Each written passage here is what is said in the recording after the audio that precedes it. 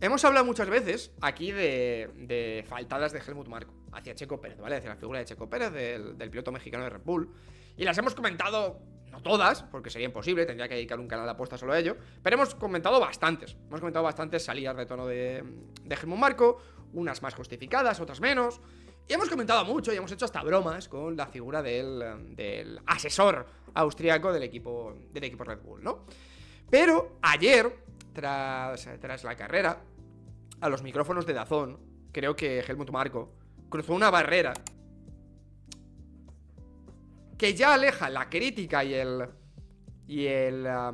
y la ironía, por decirlo de alguna manera, que estaba aplicando con, con el piloto de. con, Checo Pérez. A, a un terreno que a mí me parece. Ya está peligroso, ¿vale? O sea, peligroso me refiero a nivel de. eh, me parece de psicópata, ¿vale? Vamos a ver el, vídeo del que estoy hablando. Vamos a ver el vídeo del que estoy hablando porque ayer creo que Helmut Marco cruzó una línea que yo pensaba que no se iba a cruzar, ¿vale? Vamos a ver el vídeo de las declaraciones y ahora, ahora me explico mejor, porque quiero que estemos todos en el mismo contexto. Tenemos que tener dos pilotos que acaben en los puntos. Creo que Max eh, le saca más de 200 puntos a Sergio. Pero lo principal era ganar el mundial ahora para Max. Pero para nuestros empleados es una decepción porque su bonus depende de nuestra posición en el campeonato de constructores. Y no hay posibilidad de ganarlo realísticamente. Es de, de psicópata absoluto señalarle a Checo Pérez que los empleados no van a obtener un bonus por su rendimiento. No estoy diciendo que esto no sea verdad.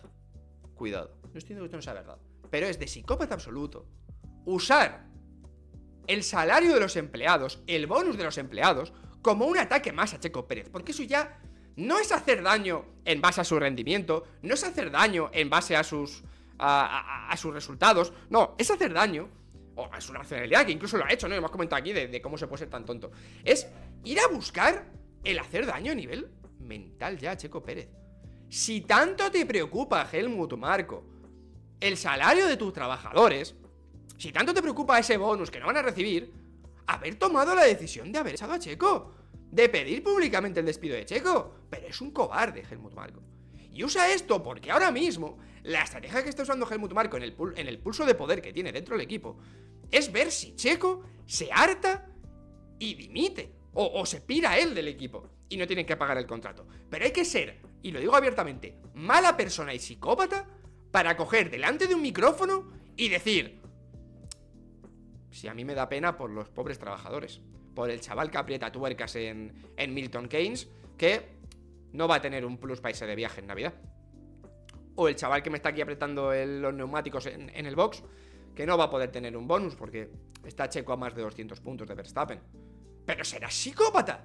Pero ¿cómo puedes jugar con eso tan sentimental? Que es algo que, que enciende porque es verdad que, oye, es verdad que el bonus algo importante para los trabajadores, por supuesto.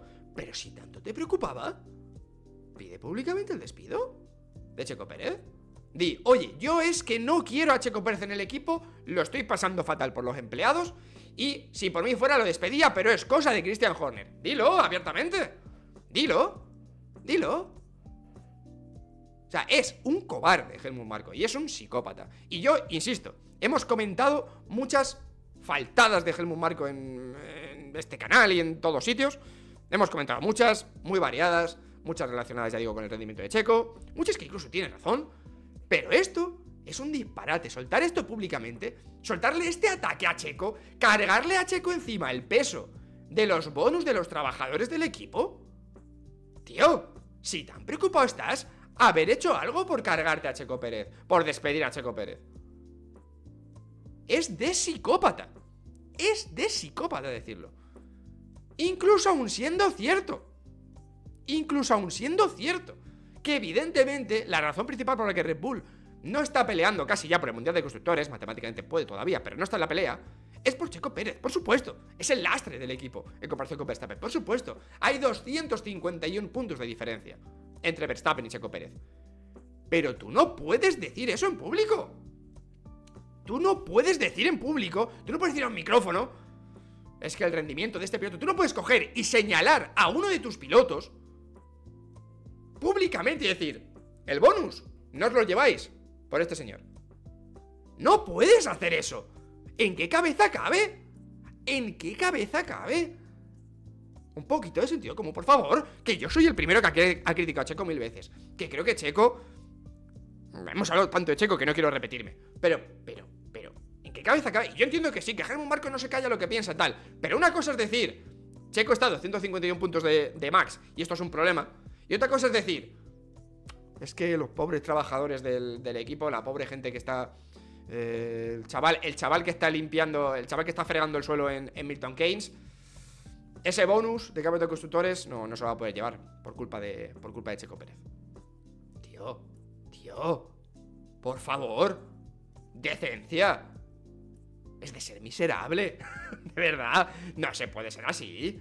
O sea, quiero, quiero decir, dejemos claro una cosa que en el fondo todos podemos estar de acuerdo con lo que ha dicho Helmut Marco, que eso no es el punto.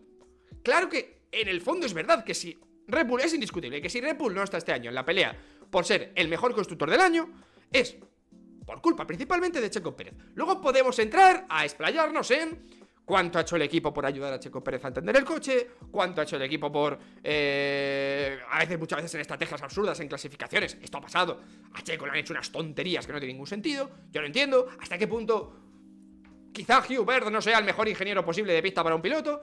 Yo lo entiendo. Aún así, el principal responsable, evidentemente, es el propio Checo Pérez. ¿Vale? Esto es indiscutible. Luego, otro puede ser matices que hayan marcado un 10-15% de resultados, pero 251 puntos de diferencia son demasiados como para no darle responsabilidad al verdadero protagonista, que es Checo Pérez. Pero esto no lo puedes decir en público. Esto, efectivamente, lo pueden comentar los trabajadores entre ellos. Pueden decir entre ellos, joder, pues la verdad que por culpa de Checo no vamos a, no vamos a cobrar un plus de este año. ¿vale? Eso lo pueden decir los trabajadores, por supuesto, de manera interna, de manera privada.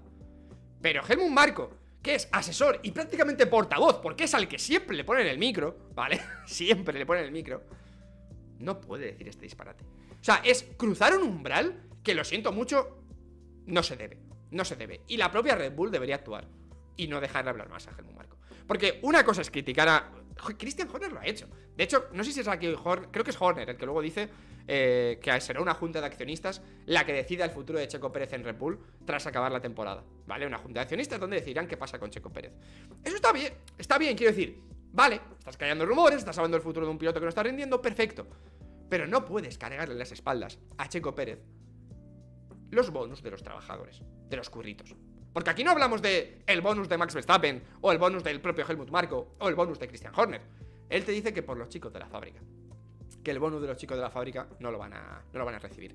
Y realmente, realmente, si tanta pena te daba, tú podrías haber hecho más quizá por despedir a Checo, pero no quieres, porque es un cobarde. Helmut Marco al final es un cobarde, ¿vale? Es un cobarde que tiene una guerra con, con Christian Horner. Y yo aquí no defiendo a Checo, ¿vale? No es por defender a Checo.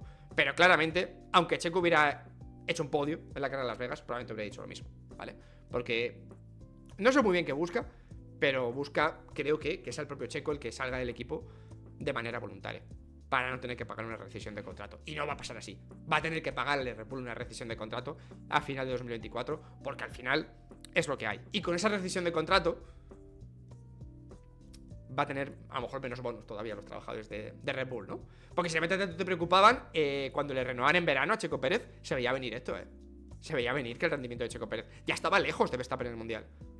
Todavía estaban líderes en constructores, es cierto, si no recuerdo mal. Pero ya se veía, se veía peligrar esto. Entonces, no sé, al final ya digo, se han pasado. Ha habido muchísimas críticas de Germán Marco a, Checo Pérez. Pero esta me parece la más desagradable que he visto en mucho tiempo. Me parece algo que. De verdad, ¿eh? me, ha sentado hasta mal. O sea, ya digo, yo critico un millón de veces a Checo Pérez. Pero no se puede ser tan mala persona. No se puede ser tan mala persona de coger a uno de tus trabajadores, que es Checo Pérez, y señalarle como el responsable, aunque lo sea, aunque lo sea. Porque esto lo único que consigues es cargarte aún más la moral de un piloto que ya está destrozado. Y si realmente te preocupan los trabajadores de tu equipo y su bonus, lo que tienes que hacer es apoyar enérgicamente a Checo. Apoyarlo públicamente, intentar levantarle esa moral. Si realmente te preocupan y quieres la mejor versión de Checo, No puedes señalarle y decir, este es el culpable, ¿eh? Este es el culpable. No, le animas, le dices, venga, Checo, hostia, ya verás como la siguiente carrera. Yo qué sé, ¿sabes? Públicamente haces eso. Luego en privado, tú coges a Checo, en privado, en el box, y le dices, cuando no haya ninguna cámara, dices, Checo, pensamos que todos estos trabajadores van a perder el bonus por tu culpa. Pero en privado, no lo puedes hacer a un micro abierto. Me parece un disparate y de verdad. No, no sé dónde está. No sé dónde está el siguiente paso de Helmut Marco. La siguiente falta de Helmut Marco, ya es que ni la concibo. No sé cuál puede ser. Pero, en fin. Eh, Red Bull sigue manteniendo a este señor, ¿eh? de, asesor y de portavoz. Y ya no está Dietrich Matesic. O sea, no entiendo nada.